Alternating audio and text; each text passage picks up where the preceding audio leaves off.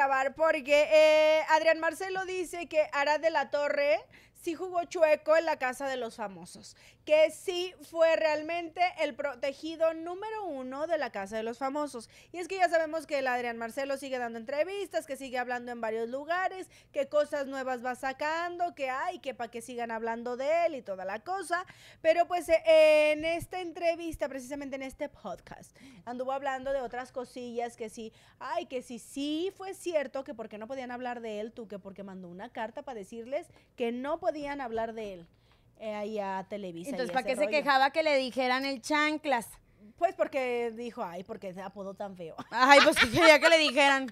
y pues, el dios pues, supremo de la televisión mexicana. Dijo exactamente que pues sí, que fue un tema de que él le dijo, le mandó a decir con los abogados allá a la televisora, o le bajan o le bajan porque no pueden hablar de mí, ¿no? Pero bueno, en otras cosas que también anduvo mencionando con, eh, con este personaje, pues mira, Chimino, vamos con la imagen, porque estaban platicando respecto a cómo manejó la situación, que si jugó muy rudo, no jugó muy rudo, y entonces dice, pues es que yo les, di yo les dije, eh, esas van a ser sus maneras de juego, ah, porque yo también tengo mis herramientas y me van a empezar a echar, pues para yo también empezar a jugar así, ¿no? Y es ahí donde les dice, yo también tengo mis herramientas, dice, entonces, el domingo que le digo eso recordarán ustedes cuando Arad dijo, yo ya no puedo, ya no puedo. Ese, es, ese rollo que armaron ahí en el posicionamiento. Dice, cuando le digo eso a Arad, pues Arad se mete dos horas eh, al confesionario, dice, y ahí ya me enteré, confirmado, y eso te lo digo aquí como exclusiva, y yo, ay, sí. Eh, dice, me dijeron que Bernardo Gómez, ojo ahí porque, ay, el Adrián dijo nombres, dijo el nombre, dijo, eh, me dijeron que Bernardo Gómez, mano derecha de Emilio Azcárraga, bajó a convencerlo de que no se fuera. Y es ahí donde le dan la información de que yo estoy siendo señalado por una Secretaría de la Mujer, que me quieren quitar la cédula, eh, le informan que Ricardo Peralta está perdiendo seguidores. Dice, pero pues Bernardo Gómez. Dice, pues, ¿a qué nivel había llegado ya la situación, no? Mm. Y ya, entonces, pues, eh, el Adrián dice, entonces, pues, Arad sí... Eh, sabía perfectamente por dónde llevar este juego, dice. Y está bien, a lo mejor si yo hubiera estado en ese papel donde me dan esa información, pues yo también lo hubiera utilizado, güey, porque pues a quién le van a dar algo si sabes que te sirve para no usarlo en el mismo juego, ¿no? Dice, entonces, pues está bien, dice, eh, este, como si fuera tu caso, ok, ahí es donde les está platicando, dice, pero bueno, les repito, dice, baja Bernardo Gómez ese domingo, habla con él, me dicen me dicen que hablan con él y lo convencen de que no se fuera, que porque a él le dicen, es que tú no te tienes que ir. La historia que estamos contando te ayuda a ti. El que se tiene que ir es este cabroncito. Ay, hasta se habla con amorcito. el que se tiene que ir es este cabroncito, o sea, él, ¿no? Y entonces dice, el martes, curiosamente, eso pasa ese día, y el martes me ponen eh, este clip, presionado obviamente por Televisa y bla, bla, bla, dice, porque los argentinos, yo vuelvo y repito, los argentinos querían que yo siguiera ahí, porque era el villano que ya habían ellos construido, que estaba todo perfectamente armado. Vente para acá. no, aparte dice villanazo, ¿eh? no dice villano. villanazazazo de caché de primera. Ajá, entonces. casi, casi. Eh, así él echándose villanazazazo, Porque Flores. si voy a hacer algo, voy a ser el número uno. Yo, ajá. Así prácticamente. Y mira qué villanazazazo se construyeron, casi, casi dice. Y pues por eso dice el Adrián Marcelo que Arad de la Torre siguió en el juego. Y el, el entrevistador obviamente le dice, oye, pero tú desde cuándo habías pedido, ¿no? Dice, es que yo, le, yo pedí que me irme el mero día que sucedió todo lo del clip. O ese día yo les dije, ya, hasta aquí llego. Dice, y por eso sucedió todo este rollo. Dice, cuando yo salgo, mi hermano me empieza a mostrar un buen de mensajes directamente de que ya ellos tenían tiempo presionando para que yo saliera. Dice, entonces, inclusive habla ahí y dice de que la mole ya hasta pensaba hacer un en vivo para decir prácticamente me tienen secuestrado mi compadre ahí adentro porque llevamos pidiendo tanto tiempo que lo saquen. Eh, dice entonces, pues prácticamente yo me doy cuenta que ellos habían armado este villanazo y que por eso les convenía tenerme ahí adentro hasta que sucedieran las cosas. Pasa lo de Arad, entonces empiezo yo a coordinar toda la historia y digo, es cierto, sí le dieron información a Arad de la Torre para que siguiera armando toda esta historia. Pues bueno, yo digo, mira, si sucedió así o no sucedió así, pues ya sucedió. porque pues el reality se acabó hace un buen de tiempo, eh, cada quien salió como debía de salir. Él, ah, yo siento que Adrián Marcelo sigue hablando de este tema porque él sigue sentado en el macho de decir todo cae por su propio peso. Yo fui el villano, pero están saliendo a la luz muchas cosas de lo que sus personajes favoritos no conocían. A ver, a mí, lo, a mí lo que me da risa es que se contradicen un buen.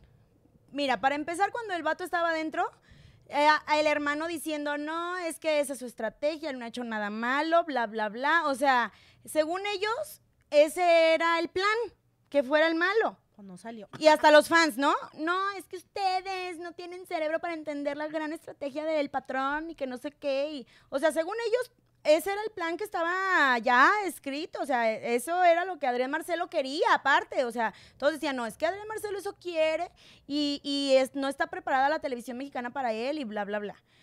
Y luego sale el vato, este, y ahora resulta que no, que ya los, la familia lo quería sacar, que porque se estaba manchando la imagen, que no era lo que ellos querían, que ahora resulta que él no quería ser el villano, villanazazazo, aparte dijo. Entonces digo, entonces sí o no. ¿Quién, o sea, ¿a quién le creemos? ¿A ustedes mismos hace un, ah, bueno, cuando estaba la Casa de los Famosos hace tres meses? ¿O ahorita que ya resulta que siempre no, que sí se querían salir y que no era parte del plan? O sea, entonces sí estabas este, quedando mal, o sea, entonces sí tenías mucho que perder. ¿O cómo? O sea, la verdad es que ahí yo ya no entendí cuál es su, su historia. Sí quería ser el villano y estaba planeado o no quería ser el villano y te dejaron mal, en primera. Y en segunda, eh, digo, mira, no le pasaron información que no fuera. Para empezar, estás hablando de ya cuando se acaba, ya ca- casi cuando se iba a acabar el reality. La gente ya estaba enojada, las marcas ya se estaban saliendo. O sea, bueno, las marcas empezaron a salir después. Pero, pero la gente ya estaba enojada desde, desde antes, es más, desde antes de ese clipcito. O sea, la gente ya estaba enojada desde la tercera semana que te le fuiste en contra gala.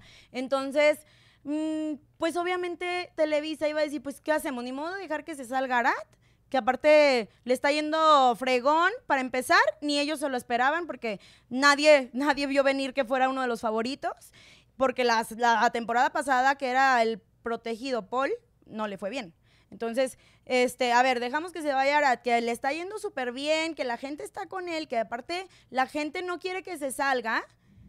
Oh, pues ya mejor sí ya, que se vaya este vato. O sea, ya total. Aparte, no tanto que se vaya, le dieron chance de réplica. O sea, ese de, según él se sintió expuesto, pero lo que no sabe es que expuesto ya estaba aquí afuera. Le pasaron el clip para que él pudiera defenderse. Lo que no contaba era que Gala iba a, refutar, tanto que Odalis dijo, no, no, esto no es un debate, no sé qué. No le iban a dar la palabra, pero esa era la oportunidad para que Adrián Marcelo se disculpara, aclarara el comentario y ya siguieran el reality tan en paz como siempre, pero pues Adrián Marcelo sí se dio, sí se dio cuenta que la historia o la narrativa que estaba llevando aquí afuera y no le gustó, a diferencia de lo que decían los seguidores. Pero miren, yo lo que les decía ayer, el vato lo que pasa es que dijo, yo le voy a exprimir hasta el último mm, lo que pueda, ya pasaron dos meses, ya la gente me está olvidando, vamos a darle otra vez con esto, este, para que vuelvan a hablar de mí, a tirar uno que otro por allá zarpazo, o sea, que si Arad, que si, que si Mario Besares, que si los hijos de, hasta los hijos de Mario Besares. Entonces, pues yo creo que, que está haciendo lo que prometió, o sea, sí va a seguir hablando de esto hasta que ya haya otra polémica o ya empiece la otra casa de los famosos y se olviden por completo de él o hasta que él vea que ni haciendo esto ya le siga dando. Sí, claro. O sea, creo que él va a tratar de exprimir lo más que se pueda toda la información eh, que pueda tener en su dominio y que sienta él como que está exponiendo la situación. Sin embargo, pues creo que de todas maneras, aunque exponga que, ay, no, fue planeado el gane de Mario X o Y, pues la gente sigue molesta por las acciones que se realizaron dentro de la casa, lejos de si ayudaron o no ayudaron a Juan o a Pancho o a Pedro, ¿no? Entonces, pues bueno, eh, cosas siguen pasando, Adrián Marcelo no se cansa de hablar y pues al parecer sí sigue molesto con que eh, ellos hayan quedado como los villanos y él como el villanazo. Y que de ojo, la historia. es un chisme porque a él no le consta. Ajá. O sea, ¿cómo sabe que bajó ese? Ah, bueno, él dice que sí, que ya tiene confirmado. Pero, que ah. Bernardo Gómez bajó. Pero, ay, ni modo que el Bernardo Gómez le dijo, yo bajé y le dije a Arad. Él No dice. creo. dudo mucho que, que los ejecutivos de Televisa o Bernardo Gómez le haya dicho eso para que este vato lo viniera a contar. Él dice, Dudo. Pero él bueno, dice, pero cada quien, digo, allá él si miente o no miente, él solamente sabe, los leo en los comentarios, ustedes qué opinan de todo esto, y hasta aquí la información, Chimino, córtale ya.